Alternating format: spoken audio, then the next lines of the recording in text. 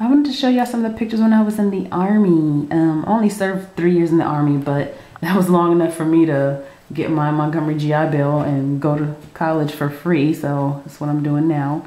Um, what else? What else? What else? Let's see. I was an air traffic controller in the army.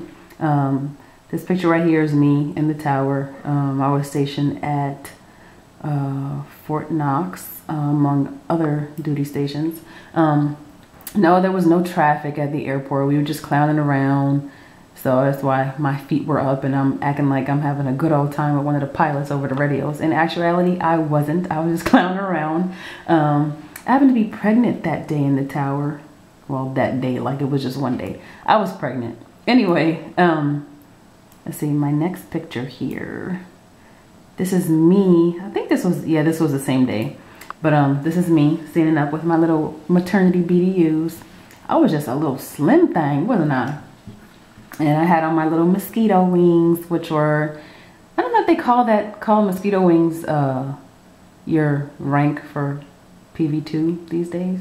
Not sure. Anyway, yeah, I was a private. And those are my little mosquito wings. Um, I wonder what I would have been if I had stayed in. It would have been over, well over, yeah, well over 10 years that I would have been in the Army. Like, sweetie, he's been in the Army for 16 years, and he's a CW3. He's a, a warrant officer, Chief Warrant Officer um, 3. So I wonder sometimes, what would I have been?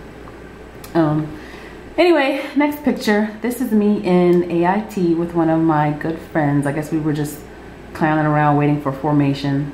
Um, Look at how white my teeth was. This was before the days of Starbucks and and other stuff. I just was so you know, you take your you take your body and your stuff for granted when when things are going well. But then when things don't go well, you look back and like, dang, can I have that body back? Or can I have them teeth back?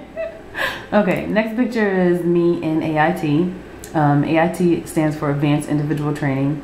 Um, it's actually after basic training, and it um, it's your training that you get for your whatever MOS you're assigned. Um, mine was 93 Charlie, which was the air traffic controller. So this is me on my break. Um, yeah, so that's it. This is me on another break, and I don't know what the heck I was doing. I don't know who I conned into laying down to take this picture for me, but I did. And see, last but not least, this is me in the tower clowning around with pictures of Marlon Wayans because I used to have a crazy crush on Marlon.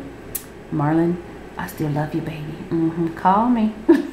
just kidding. I'm just kidding. Actually, I'm not. Call me Marlon.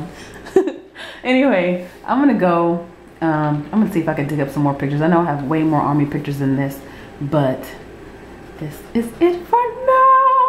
Okay, bye.